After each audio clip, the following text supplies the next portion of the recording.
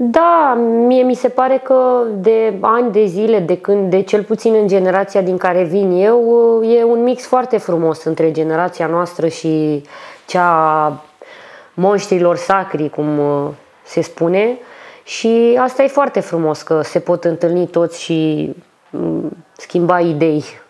Și cumva avem și noi de învățat. Cred că întotdeauna ai ceva de învățat de la cei mai mari și cred că și ei au ceva de învățat de la noi.